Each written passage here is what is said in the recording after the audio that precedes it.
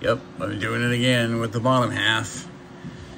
And it looks like five hours per half, which isn't bad. About nine, ten hours for just like the other one.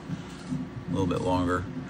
But the motor upgrade is gonna make this you heard it on that last short.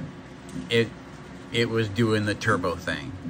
Okay, so when it's hooked up to everything else with all the stators, it's gonna it's gonna be awesome. And I'm replacing that old motor with